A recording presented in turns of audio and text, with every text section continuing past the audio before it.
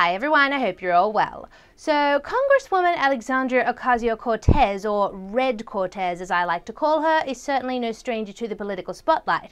Indeed, after the Capitol incident, she inserted herself firmly into the spotlight with incredible claims of the traumatic near death experience she apparently had on that fateful day. But before I elaborate on that, this video is sponsored by slug.com. But when I say sponsored by, I mean I have to use that terminology because YouTube will get me into trouble if I don't. Really, what I'm saying is that I am on a pro free speech alternative tech platform called Slug. I would love for you to all join me there and become a member of my Slug group. We have an awful lot of fun. I have put the link to slug.com in the video description. Please click on it and join me there. I would love to have you. So, about AOC's apparent near death experience, here's what she had to say a few weeks ago. I had a pretty traumatizing event happen to me.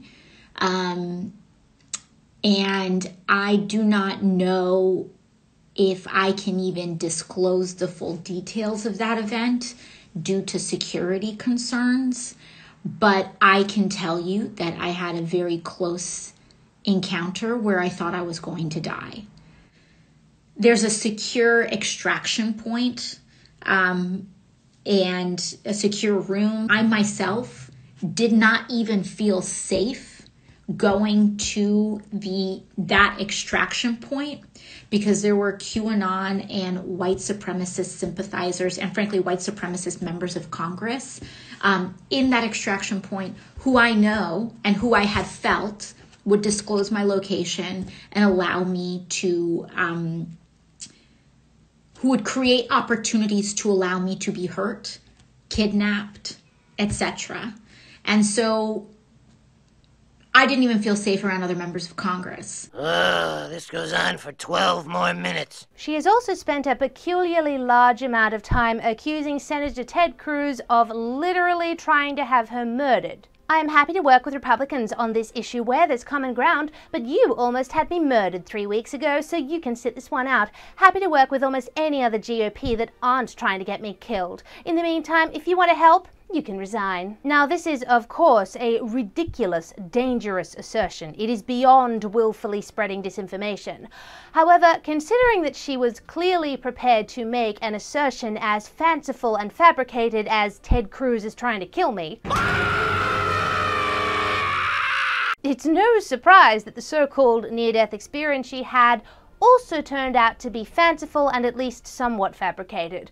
For the last couple of weeks, AOC has spent an awful lot of time hyping up what happened at the Capitol and how terrifying it was, and how she still feels unsafe around her Republican colleagues, and how Trump apparently told people to rush the Capitol even though his actual words were, let's march peacefully and patriotically towards the Capitol, and also told the violent protesters to be peaceful and go home. But again, you know, whatever. The whole point was to make Trump supporters as a whole seem as dangerous as possible, partly because she genuinely seems to hate them, but also, as the lovely Lauren Chen put it, because they all have the impeachment trial coming up, remember, and she wants to ensure Trump is convicted so that he can never run for president again.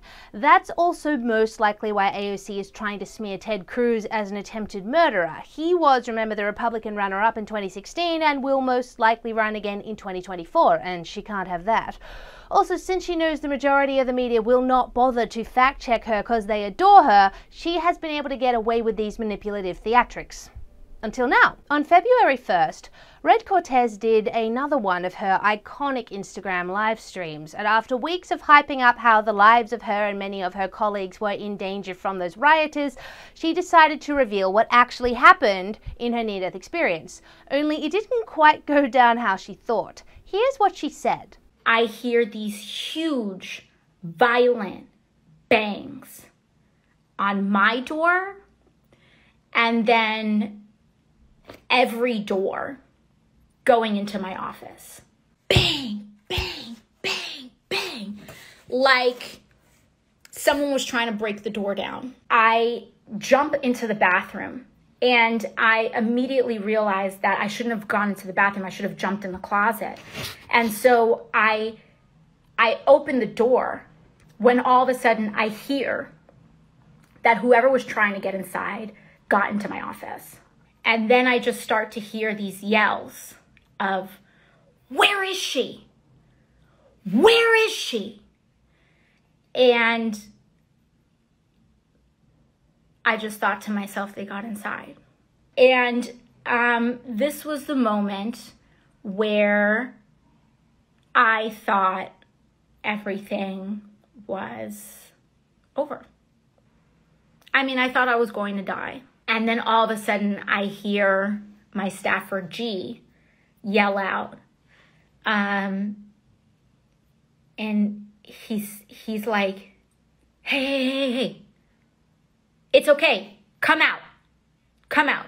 Um, and I come out and this man is a Capitol police officer. Now, while this sounds all very frightening and heartfelt to her starry eyed supporters, she inadvertently revealed a few critical pieces of information that have undermined her entire shtick. First, that she was in her office when this happened to her. Now, the way she previously painted it, you'd think that she was on the front lines, being chased around by Trump supporting rioters, you know, dodging blows, etc., etc. Only the thing is, her office is in the Cannon House building you know, not the Capitol building, which is where the riot actually happened. And as Republican Congresswoman Nancy Mace, whose office is a couple of doors down from AOC's, pointed out, there weren't actually any rioters in their building. Which brings us to the second thing that undermined Red's weeks of hyperbole. It was not rioters coming for her, which was what people had sort of been led to assume. It was a cop sent in there to help her. But because that doesn't quite sound dramatic enough, AOC had to play into her base's hatred of the police. But then what? But then it didn't feel right, um, because he was looking at me with a tremendous amount of anger and hostility and um, things weren't adding up. Like there was no partner there. I talked to G, my legislative director, after the fact, and he said, no, I didn't know if he was there to help us or hurt us either like so many other communities in this country, like just that presence doesn't necessarily give you a clear signal if you're safe or not. And while, yes, I am sure that AOC was genuinely panicked, and yes, it would have been very frightening, the way she had portrayed it up until then was as if the rioters were storming her office and she was fending them off single handedly, and that they had been sent there to kill her by Ted Cruz. The expectation doesn't match the reality, so to speak. But it shouldn't be a surprise that AOC tacitly fabricated what happened to her on January 6th. She has a history of representing things deceptively, like the time she staged this photo shoot at a migrant camp of her crying hysterically because she was apparently so horrified at what she could see on the other side of the fence, but it was very quickly revealed by others, not her, that all she was looking at was an empty car park. Plus, all that business I mentioned before about Ted Cruz apparently trying to kill her, and her insistence that MAGA rallies were white supremacist events, and that immigration detention centers are actually concentration camps, or that climate changes are World War II. It stands to reason that she wouldn't necessarily be straight up in her recount of the Capitol building incident either. This is not unusual behavior for her. The real story is what she did after she was exposed, which was, of course, to lie.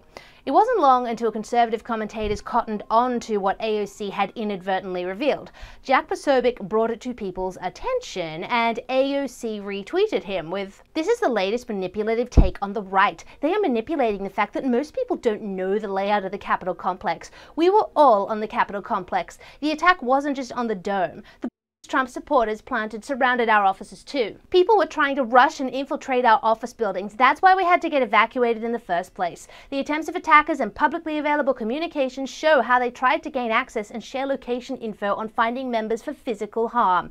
It is also very damning and revealing that the GOP is now digging both heels in a discrediting campaign. It's because they know they are implicated, so they're pivoting to, again, the classic abuse playbook of it's not as bad as they say. It was that bad. It's actually worse. Okay, first of all, there were no planted around her office. There were some pipe found near the RNC and DNC buildings, but there is zero evidence to suggest that Trump supporters put them there, and the FBI is still looking for the perpetrator. That is a big lie coming from AOC. Second of all, Jack is not the GOP. She clearly does not know what she is talking about. And third, the layout of the Capitol complex actually makes AOC look even more unscrupulous, which Jack highlighted for everyone by providing a map. As you can see, AOC's office building is quite a reasonable distance from where the action was taking place. However, seemingly undaunted, AOC came back at Jack with this. This isn't a fact check at all. Your arrows aren't accurate. They lie about where the mob stormed and placed them further away than it was. You also failed to convey the multiple areas people were trying to storm. It wasn't one. You also failed to show tunnels. Poor job all around. Okay, so look, let's hypothetically give AOC the benefit of the doubt here. While it is very clear that Jack's arrows are not inaccurate, those are where the buildings are and the map seems to be to scale, perhaps there were rioters trying to bash down the door to the Cannon House office building or coming through the tunnels, which seems to be what AOC is implying. I mean, maybe that's why they were being evacuated in the first place. Well, not record according to reporting on the day. According to NBC Washington and other outlets, an alert from US Capitol Police told occupants of Cannon to evacuate due to nondescript police activity. Not only that, according to Washington Post reporter Mike DeBonis and CNN reporter Phil Mattingly, the Cannon House office building was given the all clear within about half an hour and re entry was authorized. And yes, while I know that WAPO and CNN generally suck, these reporters would have had all the relevant alerts during this kind of incident. Clearly, AOC's building was not in fact, seemingly in danger of being stormed by a mob of murderous Trump supporting rioters. I mean, you'd think AOC would realize at this point that she was digging a hole for herself and just quit while she was only slightly behind. Particularly as by now, hashtag Alexandria Ocasio Smollett had started to trend on Twitter. But no, she started tweeting what she had stated in her live stream about how traumatized she was by the whole thing and how that trauma had compounded for her because of abuse she has suffered in the past, which I will not go into because it is awful. I'm not taking anything away from that, just to be clear, everyone. And how anyone who is even mildly skeptical of her account of events or of just how traumatic it actually was is literally the same as an abuser.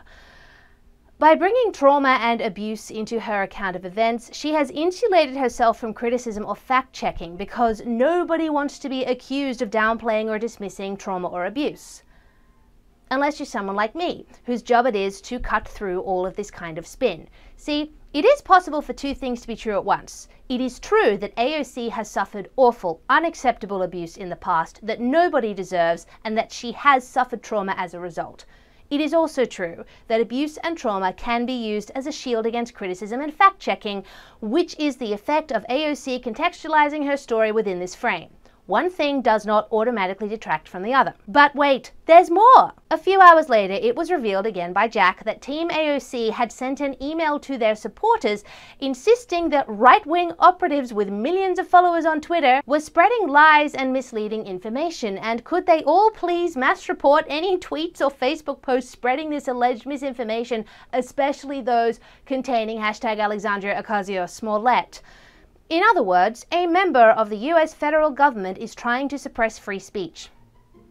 I would have thought that was at the very least unconstitutional, right? All in all, it's been a bit of a time for AOC over the past day or so, and I'm interested to see how it unfolds.